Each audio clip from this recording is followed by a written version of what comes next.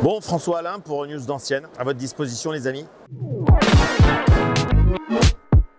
Alors Peugeot 204 ou Citroën 2 chevaux, alors ça c'est la question piège. Je dois faire forcément une réponse sur... euh, Ah c'est compliqué. Citroën 2 chevaux c'est universel. Voilà, on va le dire comme ça.